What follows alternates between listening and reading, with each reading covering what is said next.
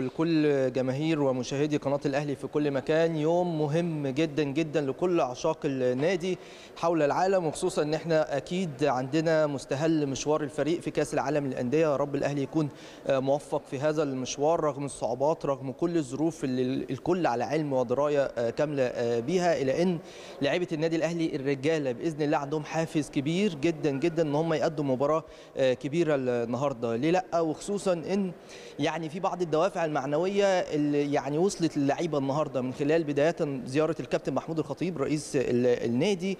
وطبعا أسطورة كبيرة جدا جدا في تاريخ كرة القدم المصرية. والراجل وصل الفندق واتكلم مع اللعيبة واجتمع معاهم واداهم دافع معنوي مهم للغاية.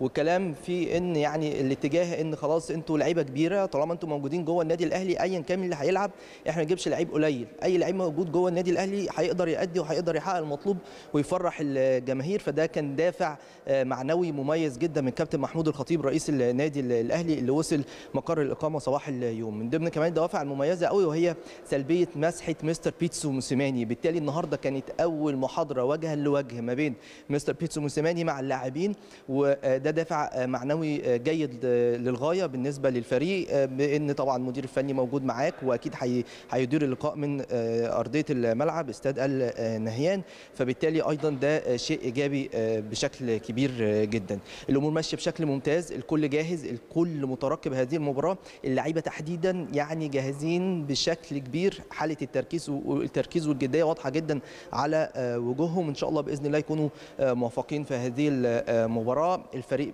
يعني بيتحرك خلاص في هذه اللحظات في اتجاهه للاستاد. وإن شاء الله بإذن الله يوصلوا قبل ميعاد المباراة بساعة ونص. يبقى في عمليات الإحماء وكل الأمور اللي إحنا عارفينها قبل انطلاق أي مباراة. مباراة كبيرة فريق مونتري كامل العدد. الأهلي ممكن يكون ناقصه كتير وناقصه عدد من اللاعبين المميزين جدا والأساسيين في تشكيلته لكن بيكتسب عنصر مهم للغاية وهو إيه؟ وهو حضور جماهير النادي الأهلي بكثافة وبشكل رائع. وهو ده العنصر اللي مش بيغيب ابدا عن النادي الأهلي في كل تحدياته. ما بالك لما يكون تحدي في كأس العالم البطوله المفضله بالنسبة للنادي الأهلي واللي شارك فيها مرارا وتكرارا. النهارده إن شاء الله بإذن الله تكون بداية لمشاركة تكون ناجحة بإذن الله للأهلي.